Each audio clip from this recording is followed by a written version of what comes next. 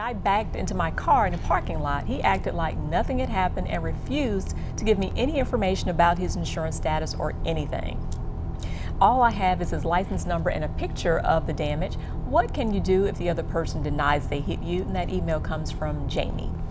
You want me to take it or you want to take it? Um, I well, I can I can start it and then you can finish it All off. How right, about go that? ahead. Teamwork. Uh, um, it's it's good that you have a picture of the property damage and you have a picture of his license plate. Um, I would recommend filing a police report.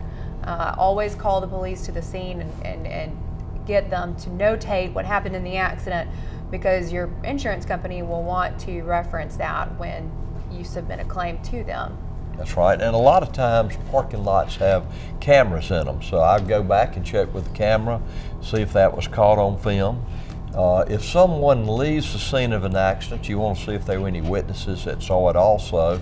So it's not your word against theirs. But the other thing is, uh, if someone causes damage, whether it's a, a personal injury or damage to property, and they leave the scene, then there's possible punitive damages that would give rise to, to claim.